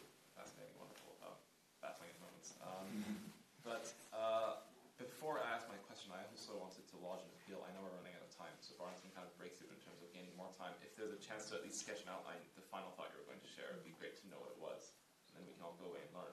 But, but I mean, Sava can determine if there's time for that. Um, my question is actually a bit of a knuckle dragger question, so it might ruin the tone, but it's really about if you're talking, especially if you in particular are talking with your colleagues about a lot of the ideas that you introduce, mm-hmm. um, there's a lot of reflection and a lot of thought that goes into them. Mm-hmm. How do you answer the charge that you're working too hard to, to, to say these things, to have these understandings? And that, uh, especially from a material objectivist perspective, you're working too hard. What do you say to that? I would say that I would say that I'm, I'm not really, I'm not working too hard in the sense that you can't starting from physics. Uh, the idea, the principle of duality in physics everyone agrees is a very fundamental idea in physics. Uh, dualities of space and time, dualities of mass and energy, dualities of electricity and magnetism, and these more abstract dualities that we're talking about, dualities of subject and object from quantum mechanics from yesterday, duality, which was the, the last point I was going to make, dualities of you know the sort of a, an efficient cause versus a, a final cause. Um, all of these are examples of dualities which are intrinsic to to physics. This is an unobjectionable thing. You're not you're not sort of making some metaphysical stretch to point out that there is, a, at a fundamental level, a, uh, uh, a, a sort of a, a, bifurcation of things, not in a dualistic sense, but in the sense that things can be described from one perspective or the other, depending on how you look at them. Particles and waves. I mean, it just goes, the list goes on. And this is universally acknowledged as a, as, as a feature of the, of the world uh, of existence. So from that perspective, I don't think it's, I, I don't see it as being a huge sort of stretch or, or sort of a bending over backwards, um, particularly given the principle, our principle that that physical and spiritual are, are, are intimately related to each other, and that they share, uh, they'll share these um, these sort of the big picture and, and processes and, and structures will be found in one and sort of mirrored in the other. That's, a, that's our claim. That's our metaphysical claim. I think it's a, you can't prove that obviously, but I think it's a reasonable sort of a claim to make. Um, and from that claim, then I think it's a reasonable sort of a, a thing to look at uh, at things, you know, like a, a, an equally fundamental sort of a thing like matter and spirit, or like God and nature, and say, well, why can't we apply the same sort of thinking to those? Um, it, it doesn't strike me as being too uh, as being too much of a stretch, but at the same time, I haven't really tried this out on my colleagues. Um, this is a, you know, this is, I, I don't know how this would fly. I don't know if this, you know, if they would just you know, dismiss it out of hand and say, oh, well, you're, un- you're misunderstanding like like Ismail brought out, you know, to the extent to which there's been any discussion of this at all, it's just been rather dismissive about about the idea of, of, of trying to introduce teleology into the action principle. And I understand why they've done that because they want to, because they're afraid that you're going to slip in something through the back door. Uh, and they want to close that back door so that you don't try to say, oh, well, it's all consistent with God, because it's not consistent with God as we traditionally conceive it. But what it is, you know, what it does demonstrate for us is the incompleteness of a certain intuition about how uh, about how cause and effect works, and that, that's the main point that uh, that that this principle shows us. Sorry, but yeah, fair to say it is consistent but not demonstrative of God. Yeah. What you said, it is consistent, but it doesn't demonstrate. it. Of course, it doesn't demonstrate. No. So I wonder if there's two areas of convergence between science and religion, mm-hmm. uh, which are the uh, relative understanding mm-hmm. and progressive understanding, on the one hand and like our feelings and beauty of things on the other. Mm-hmm. So, for example, we can be awed at the beauty of the immensity of the universe or a flower or a dog of a species, mm-hmm. and yet understand how it was created or how it came about. Mm-hmm. But on the understanding level, I have a feeling that um, it's all about this relativist view about we are awed at things we don't understand as well. So um, we think that's spiritual. We don't we didn't understand fire, and then we did. Mm-hmm. Then the stars. Um, so in the same way, we understand how the fruit came about because we know about DNA and blueprints. So so our understanding of the molecular level um, and and the fruit becomes easier. So mm-hmm. our, we then can make these analogies, but. I'm sure there's still a lot we don't understand about those cellular processes, so there's still things that mystify us. So in the same way, could it not be that um, we could converge on saying that actually our understanding of the purpose of existence and how it came about is missing. We're on the path towards understanding this. But my question would be then, do we have insights into the connection between the two? I think this question is possibly slightly different from Ismail's in terms of evolution. Yeah. There must be a connection between how God purposed the, the, the evolutionary process in order to come up with man and consciousness mm-hmm. compared to how evolution works in the random mutation process. Mm-hmm. There must be a connection mm-hmm. which we don't understand or I don't understand. Do you understand? you know, there must be a physical manifestation of that purpose. And I just wonder, are we just not selection. Right. I mean, yeah, but it's just natural selection. I mean, at the, it's, it's when you're looking at it, you know, from moment to moment, that's all you see. That's all there is. There isn't some invisible force that you're going to eventually discover. That the, oh, there, that's what was guiding it. The, the, the whole idea behind this analogy is that there is no invisible hand pushing things. That's the whole idea. That the invisible hand, that's a sort of, that's a figment of our imagination. When you look, uh, you know, when you go back all the way and look at the whole thing, that's where the, the hand comes in. It's no longer an invisible hand. It's something like it's a principle. It's like it's like it's analogous to something like this principle of least action. It's some sort of it's some sort of global process that that trends things in a particular way. That's just as mathematical. That's actually mathematically identical or equivalent to, to do to, to looking at it, at it this other way. But that way you get you get back uh, you get back sort of the, these sorts of tr- trending uh, these processes uh, from what at a micro level uh, is absolutely invisible. Wendy, then.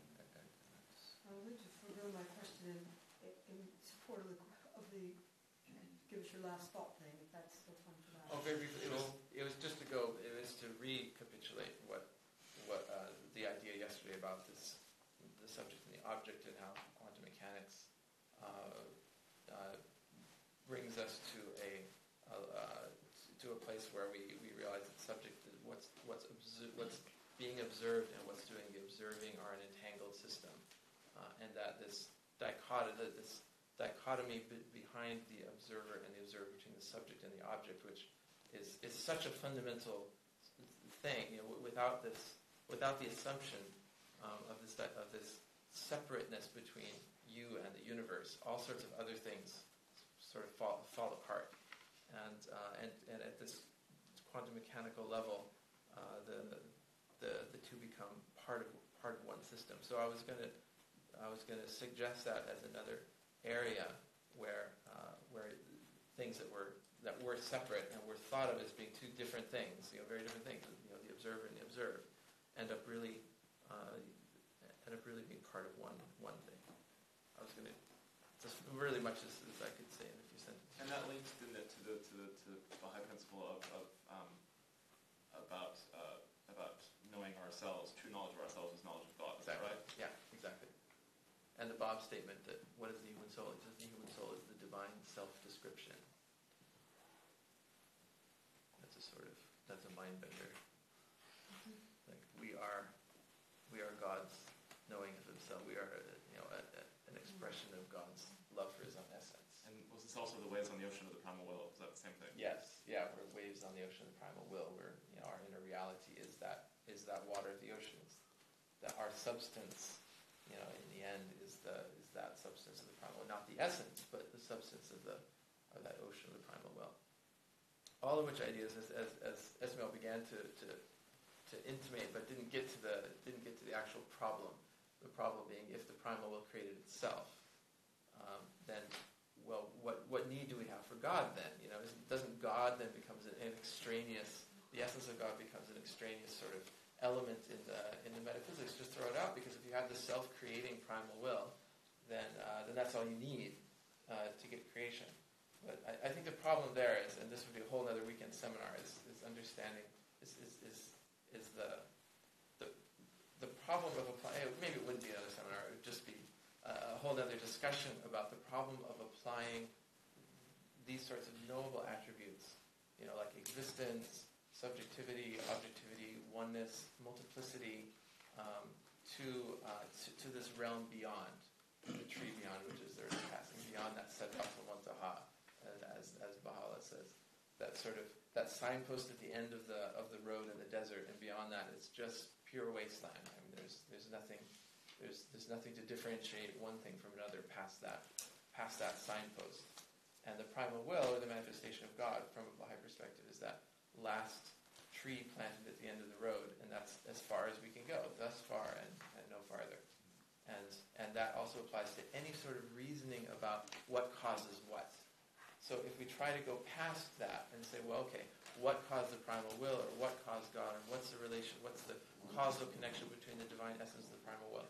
It just doesn't go there. It just it, it, it's it's broken at that point. Logic is broken. Um, Isn't that the nature of science as well then? That there's this whole area beyond which science cannot go. And we've been just talking about it all weekend. yeah. So there's your symmetry. To me, that's the symmetry. There's you know, an area we can't discuss, and there's an area science can discuss. I think to me the epistemological foundation in the writings is the ineffability of reality. That actually the limitation is not even science. The limitation is language. That actually there is experience and knowledge beyond language, and that whatever, whether it be your soul, the smallest at- at- atom, or God, you when you go deep enough, you get to a limitation of language. So Mhm. all our descriptions, including the essence of God, including teleology, are accommodations and approximations that are convenient tools, as it were, whose ultimate purpose is to lead us beyond language into the realm of wonder and awe and, and phenomena in that sense. And in that respect, I wonder whether the presence of God, in terms of Martha's question, is the framework, is the fact that out of all these random mutations, the one thing that survives is a specific pattern. Mhm. The one thing that coheres, that's where you can see teleology in a sense, not in the sense of a direct road, Mhm. but in the sense of an inherent sort of cohesion, sort of the thing, the connection of the reality of things, that certain things connect, certain things don't. That order that makes things connect is the will of God. You that is, uh, and as you say, it's to be found in what we know, not in, not in the gaps. And, uh, But does it, does the manifestation manifestation of God, can the manifestation of God go beyond that? Beyond what? The- So there is this point, thus far and no further. no, well, he himself says he can't. Somebody So says Baha'u'llah himself says Yeah. that. he himself says he can't go there. Can, so, yeah. Yeah. And the reality of the manifestation is the will of God itself. So you can't Very go good. beyond the will of God. So,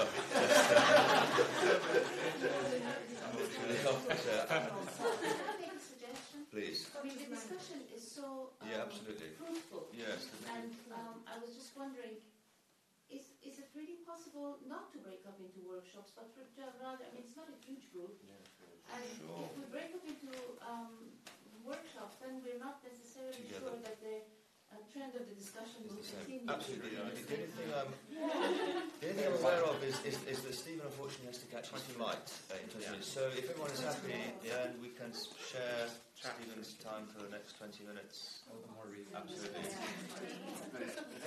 Sounds good. Steven, it's relative. Let, let time. However, yeah, o- o- obviously it's, it's up to you in terms of also getting prepared to leave. You have a long flight and so forth. So No, I have no, there's nothing I need to do. I just need to make it to the tube by by like tomorrow or so. So we They will, We'll, we'll, Yeah. And strictly at 12 to allow you to make sure you. What time do you be there? Uh, my flight is at 3:30, so I should probably be there by 2:30, by by, by uh, two hours ahead. So 1:30. If there's a faster way to get there, It's an hour. It's an hour to Heathrow max. and it, the tube I assume is just the best way. Because, uh, so Here is the easiest. Good. yeah, Don't worry, you won't notice whether you're moving or not. once you're there.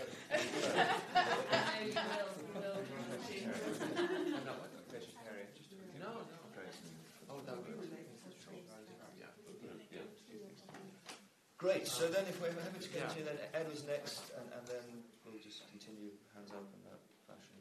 I just wanted to make an observation, well, a couple of observations really, in terms of uh, talking with new atheists, in terms of the, the tree example. Partially covered, I think, um, but that it sounds an awful lot like intelligent design. Does, it's not supposed to. It's not, it's, not supposed to sound like that at all. it's talking about there being uh, a potential there at the beginning that we receive at the, at the end, in a sense there is Yeah. a blueprint. I'm glad you asked that because I, I wouldn't want this idea to be confused at all with intelligent design. The reason is that intelligent design, is, so far as I understand it, is, uh, is, is effectively a God of the gaps theory. The intelligent designers look at complex systems like bacteria flagella uh, and they say this couldn't have happened by just a random process of, uh, of natural selection and differential survival. It had to have been designed. And the intelligent designers don't say where that blueprint came from, but somehow, in their theory, there has to have been a blueprint that then gets unfolded gradually in the, in the planet of the flagellum. They, of course, can't name it, uh, but that blueprint uh, and the design of that blueprint is the, is the Christian God. And that's because they're all, you know, they're all, you know, Christians trying to find a way to insert the, the, the designer God back into the system. What I'm suggesting in trying to propose that there is a uh, that there is a um, a way to reconcile uh, the, this causal picture with uh, with a with a sort of a teleological picture um, is not at all to try to to bring in a, a, a blueprint sort of idea that. Uh, which unfortunately could be implied by the tree analogy, because the tree is obviously a blueprint sort of a thing. What what I would what I would suggest is more the case is that things happen start simply just as the Big Bang theory says. It's just hydrogen atoms and helium atoms, and this principle, this this uh, this overarching you know tendency of things to greater complexity, which is the overall perhaps best way to describe the, the arrowhead of, of evolution. Um, that of course modern bio- evolutionary biology doesn't recognize there being an arrowhead, but we see that there's an arrowhead, and that arrowhead can roughly be um, be uh, be explained as as this complexification of things, um, and uh, I think this complexification of things is the is an, an unfolding of some overarching principle which hasn't yet been and may never be mathematically described, um, which is not the same as the designer, which is not the same as a pre-existing blueprint, which is something more like an action principle. But you know, but again, that's just a, that's just an analogy to try to make it uh, to, to, try to give it some sort of uh, some sort of um, logical sort of possibility. Um, but I, I wouldn't I wouldn't try to go in that direction because I don't think I don't think we're in that camp at all. I don't think we're in this uh, we're in the God of the gaps camp camp at all. I agree entirely. I guess it's just as soon as we start talking about sort of purpose. Yes. Yes, and that's yeah, that's hitting on the uh, the, the real nub of it. And how okay, how does purpose what is purpose and how does purpose make itself felt in the world? That's the, the real epicenter of the whole thing. What is the point of contact between that purpose and the physical world? And I think that the ID theorists, the intelligent design people, they, they don't really propose a metaphysics for it. But somehow there has to be some very, uh, there has to be the finger of God sort of planting the blueprint in some way.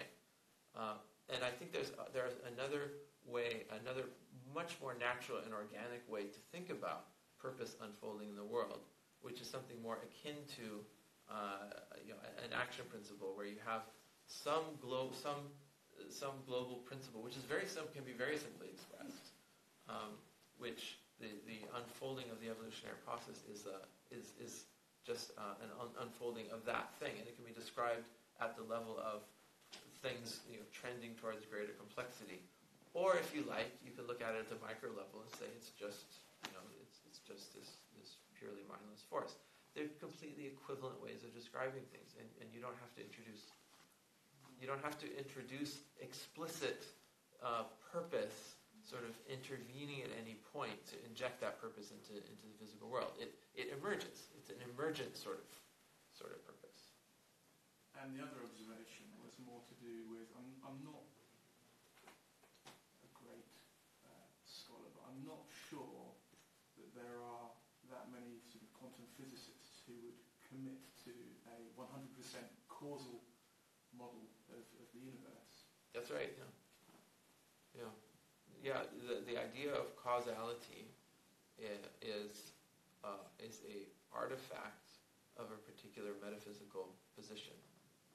I think I think actually most physicists would agree that uh, that causality is uh, in it's in a sense a, a figment of our imaginations. I mean, it's not to say obviously you kick someone. Okay, I just caused that. I mean, there's obvious refutations of that, but in uh, uh, but I, maybe it's, it's, more accurate to say that there are um, there are you know compatible or complementary ways of describing things, and one way of describing things is within a causal framework, and another complementary way of describing it is within this uh, this sort of integral framework, which uh, which doesn't explicitly introduce causes.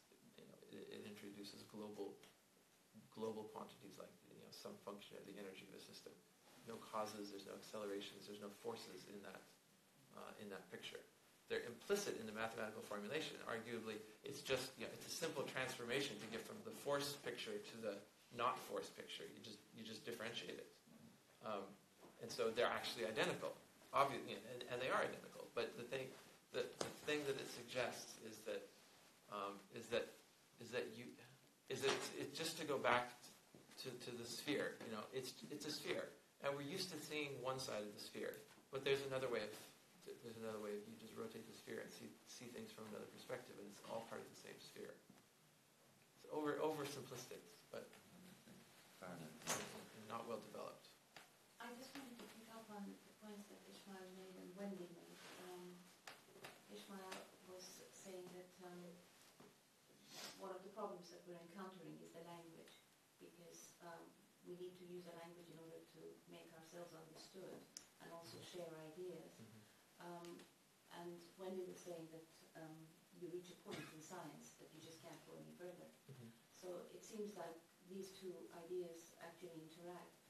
But for me, um, who's cognizant of both of the points that have been made, is that ultimately it makes the realization very individual. Mm-hmm. Because you really, um, you're trying to communicate, you're trying to convey the insights that you get from this, these kinds of discussions.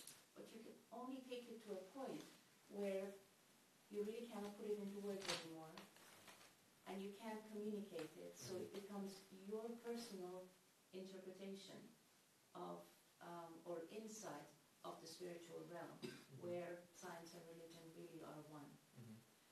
And although the process is extremely exhilarating exciting, but at the end of the day, you can't even, not only you can't express it, but you can't even write about it because it eludes you. Mm-hmm. And um, I find myself very often in that position when I'm talking with my colleagues. Mm-hmm. Ultimately, it becomes a point of interpretation and very individual. Mm-hmm. And neither is convinced. I am not convinced of their point of view, and they're not convinced of mine, because that's as far as we can go. Well, we go back to the art analogy. I mean, it's it's like recognizing art or not. I mean, you're looking at the same thing, but but uh, two people can can be faced with the, the same set of, of of evidence, but come to different conclusions. And, and some people can see something a pattern in it, and other people won't. It's just the, the nature of it. Isn't that also true of logic? You, you know, say, starting from the same point, two, two different people can argue to two completely different conclusions. Not in logic. Completely logically. Not in logic. At some point, the logic is designed to avoid that. Actually, that was the point I was going to make. That actually Gödel's theorem undermines that that presumption that Mhm. actually within logic you cannot prove the internal consistency of a system uh, without going to a higher system, etc. So there is, I think, to me, this is Yeah. one of I spent sort of my my sort of early youth looking for these things that mm-hmm. ultimately pointed to the limitations of all systems of knowledge. And the one sort of core system of knowledge, the primary, has been mm-hmm. logic. You know, if you cannot mathematically demonstrate consistency, the entire edifice has a weak foundation somewhere. Yeah. And I think it is interesting that there isn't a single system of knowledge that we have been able to sustain without identifying that Achilles' heel that leads us back, I think, to that point that actually, uh, and where we began yesterday, that the ultimate proof of God is spiritual. It's, it's one of inner perception. And I think from that follows that I think ultimately most of the fundamental metaphysical statements from causality to teleology are ultimately the result of our response to the manifestation.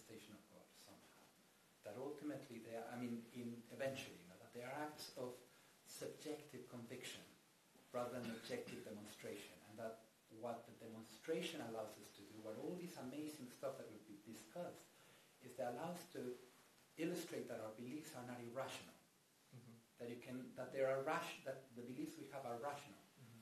but they are not ultimately demonstrated by reason alone. Mm-hmm. Uh, you use reason to, I, I always think the concept of evocation is a more accurate one than demonstration. We evoke in other souls and in ourselves, we, ev- and Baha'u'llah, I feel the manifestations evoke an experience of truth, a persuasion of truth, mm-hmm.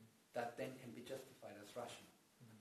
That the attempt to persuade people into those metaphysical beliefs is probably mistaken. Mm-hmm. Whereas the attempt to evoke it, that, you know, people are more receptive or less receptive. Some people will be sort of receptive to the overall logical persuasion will then have this concept of elegance, of beauty. Mm-hmm. And you'll say, okay, I can't demonstrate, but it's more elegant or more beautiful, more uplifting mm-hmm. to see things the, the Baha'i way. But I don't think the, this attempt to find a physical explanation that closes the gap, just Gödel's theorem already mm-hmm. so forecloses any metaphysical derivations from Yeah, the Gödel, Gödel's theorem does, uh, tells us that, you, that there's no single logical system that that can uh, that can encapsulate all possible true statements. Uh, my statement about logic to Mujan was more on the point of given the same premises, you can't branch. Uh, the, the logic is so constructed that if you're starting from the same premises, one person isn't going to come to a different conclusion from another. That it's, it's, it's a self-consistent system in that sense. But if you want to start from different premises, then, uh, then you know, according to according to Gödel's theorem, you know, there are different things that could be said that, that aren't that can't all be you know, encompassed in one in one But even then, Wittgenstein turned that on its head. You know, he, he, Also, so the first half of his career was proving that, and the second half of his career was that actually um, the the axioms and the consistencies and the consistencies were language games. That actually, the, it, depending on how you framed the content of those axioms, you could invert them, and therefore the, that the, the quest for a completely consistent logic, apart from Gödel's, um, mis- misunderstood the nature of language. And that when you understood the way language went, then A versus B was not an adequate way uh, of resolving all the all the parameters. So I don't know. For me, it's always there- Wh- Whatever Wittgenstein said, it wasn't it wasn't going to refute the idea that starting from the same premises, you you know you could come to a different conclusion, which is a very limited it's a very limited claim, um, and what these other what these other people were saying is, is true, but in a different you know that's true, but in a different context.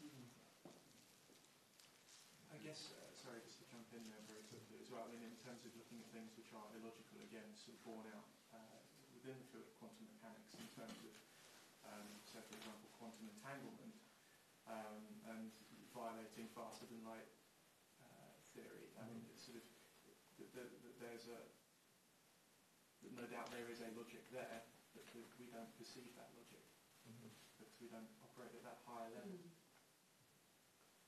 This is an observation. It's possible. We've got about five minutes left, and I've got N- Nahal, Masa, and Jason. Uh, if we have time to get through those, if not, obviously we'll just have to cut it at twelve and make sure you get your plane. So then, Nahal. So mi- mine's actually going back to the intelligent design and, and um, you're saying about you know natural rule that's inherent. But I mean, I think I think we can have both. I mean, I think it's just a different way of expressing the same thing, isn't it?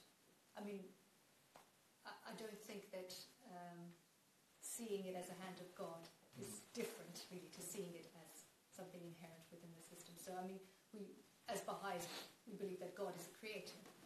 So, I'm just Well, agreeing. I'm, I'm just saying it's not one or the other. It's the god of the gaps versus the god of the filled spaces. I mean, It- I would say the hand of. God is the is not the god of the gaps, it's the god of the filled spaces.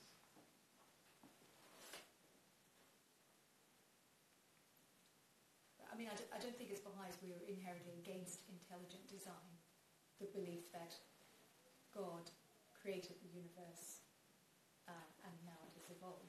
No, I think what, we're, Yeah. what we react to is uh, is a sort of a, a fancy version of creationism, which is what intelligent design is. The specific, the specific theory.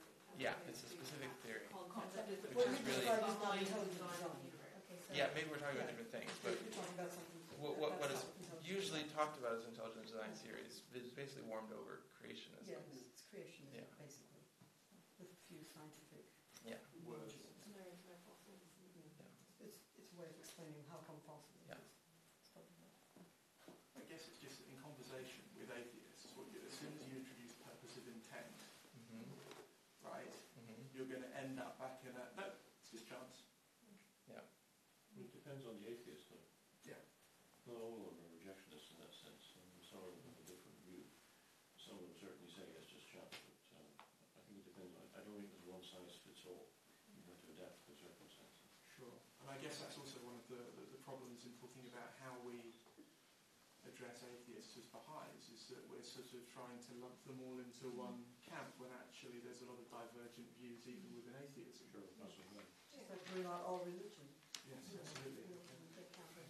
Religion is like that. Friends, I'm afraid we, we've, we've come to you just to make sure you do get back. um, Yeah.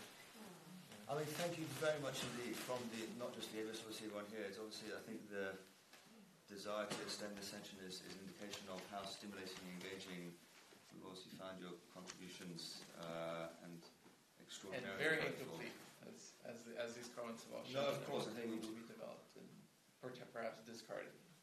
No, no. I, I think in terms of just beginning a conversation about some of these ideas, this has been an extraordinary opportunity for that. I'm very, very, very grateful. Uh, so I'm not sure how else to say thank you, but thank you very much.